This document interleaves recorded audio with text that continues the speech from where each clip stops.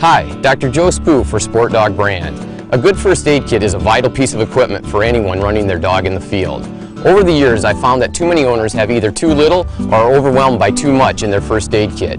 Keep your kit basic with items that allow you to flush wounds, stabilize injuries, and to bandage your dog if needed. This is one piece of equipment that you hope you never have to use, but if you do, it can be a lifesaver in the field.